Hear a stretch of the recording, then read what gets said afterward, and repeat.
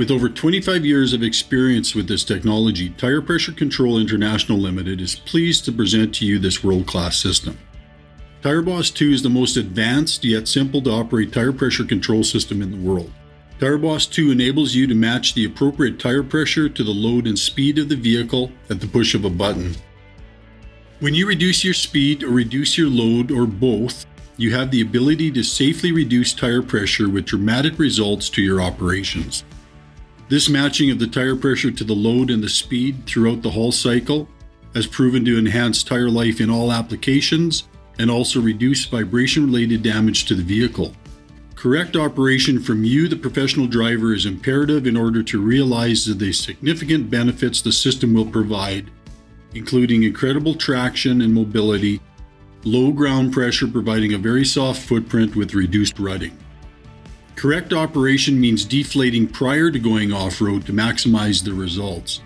Do not wait until you have made deep ruts or managed to get stuck prior to deflating. Here is a snapshot of the results when Tire Boss is used correctly.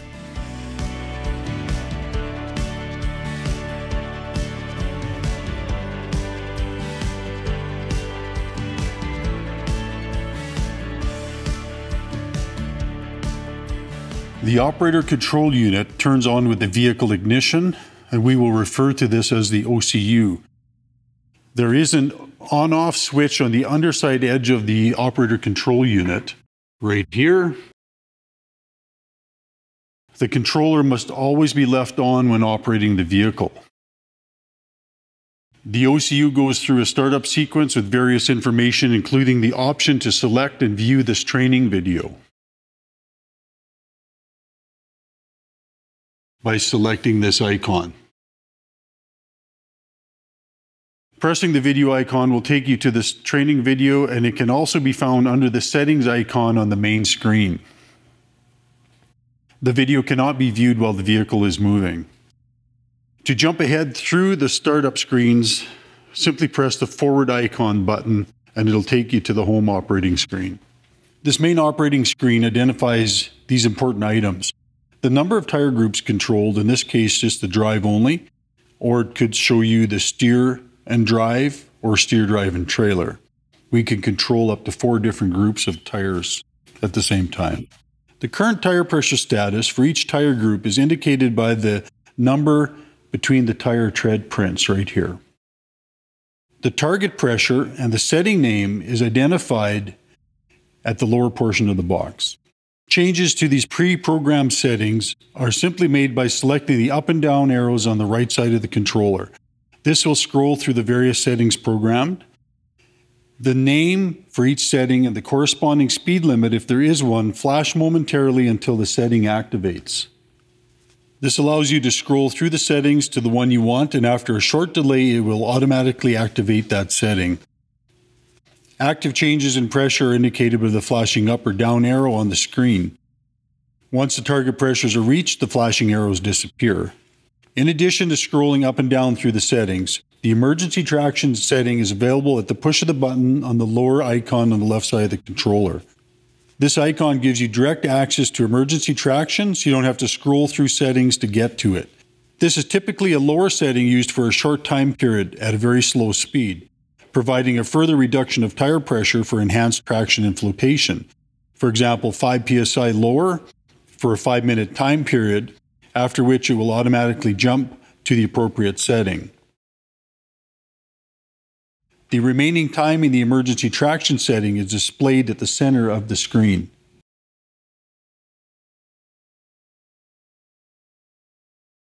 If the time has run out, the emergency traction mode can simply be reselected again. Please note that changes in tire pressures take place while the vehicle is in motion. This applies to both inflate and deflate changes. The inflate times are much quicker when the vehicle is in motion than when still, given the engine RPM and turbo boost increasing compressor output. For vehicles equipped with load sensing, it will automatically display only the settings available for that condition. For example, loaded pressures will be different than unloaded pressures. This shift between loaded and empty happens automatically without your input required. These icons here with the weight indicated that we're in a loaded situation. When the vehicle is empty, those icons will disappear. The dim bright control for the screen allows for three levels of brightness simply by pushing the button repeatedly at the top right hand corner. When any alarms are active, they are displayed on the top center of the screen, replacing the Tire Boss 2 logo. We will now simulate a catastrophic tire pressure loss situation by pulling off an external line at the drive wheels. This simulates any major tire pressure loss where the vehicle air compressor cannot keep up with the loss of air in the tire system. Tire pressure loss, stop vehicle now, alarm is displayed when there is a catastrophic loss in tire pressure. Again, if the system is inflating and the actual pressure drops for any reason, the alert will come on. If any type of catastrophic loss takes place, you must close each individual tire wheel ball valve. And you have to do it on each set of wheels in the tire group to isolate air loss and then rectify the problem. If this alarm is activated, you must stop the vehicle as soon as it is safe to do so and close the manual wheel end valves at each tire hose and then determine the corrective action. Low brake air pressure system in standby is an alarm displayed if the truck air brake pressure is reduced. The tire boss system then goes on standby until the truck brake pressure recovers. Vehicle overspeed alert is activated if the vehicle exceeds the maximum speed limit for a particular setting.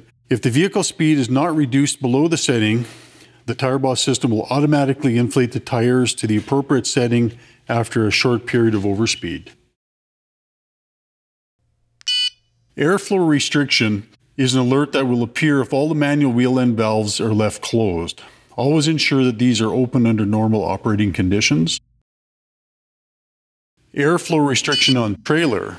This alert will appear if all the manual wheel end valves are left closed or if a trailer is disconnected or not equipped with Tire Boss hardware.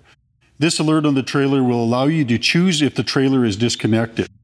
If you choose yes, it will deactivate the trailer until you once again reactivate it by pressing the X in the center of the trailer group and holding it. Various other alarms may display. Please note exactly what they are and report it to your service team.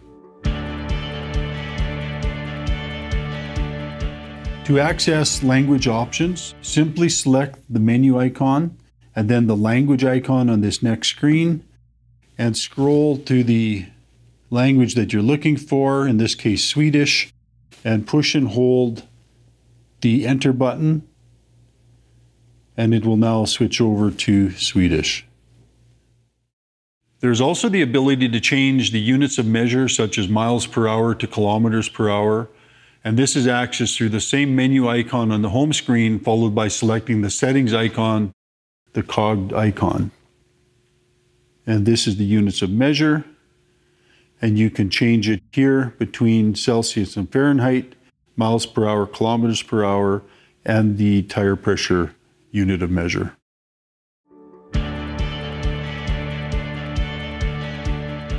The valve control unit, or VCU, controls the inflate and deflate of the tires.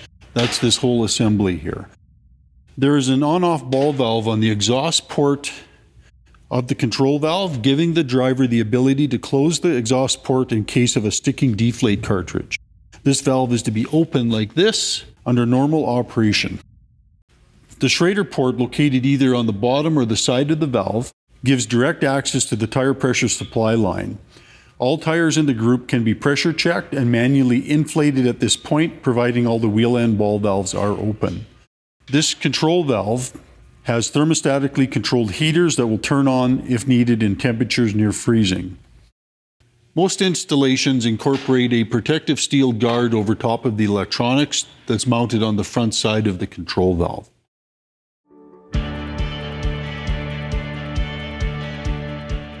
There are individual manual ball valves for each tire. These are to be open under normal operation. They are there for servicing of wheels, and if needed in an emergency situation, they can be closed as I have here, but again, open when the vehicle is under normal operation. Automatic valves are built in for each tire that close if tire pressure drops below a preset level. Example 20 psi is a safeguard to ensure the tires never go right flat. That's what these are. These are the automatic valves built into this assembly that individually close off the supply to each tire at a low set point. There are various configurations of these wheel end valves, either built into wheel disc assemblies as these are, or individually mounted as required. There is a Schrader stem, as you see here, that allows for individual tire pressure testing or tire filling. So this Schrader fills this hose, this Schrader fills this hose and also acts as a set point. If these wheel end valves close off at 20 psi, they need supply air pressure again in order to reopen. This is the wheel end valve that isolates each tire individually and this one, of course, not built into a hub. It's individually mounted. It still has a Schrader valve, a Schrader port, in order to supply air to a tire or check an individual tire pressure. Please note there are no valve cores in the valve stems, as air must pass both ways for tire inflate and deflate. Ensure that valve cores are never installed when servicing tires. In off-road applications, it is important that the inner wheel hose connection to the valve stem is covered by the protective sleeve slid right to the base of the valve stem. This is often missed on tire servicing and leaves the valve stem at risk of breakage when off-road.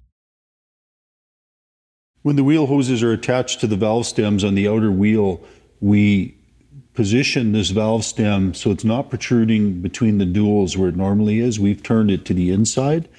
So none of this hardware is sticking down between the dual wheels for protection of the hose and the fittings.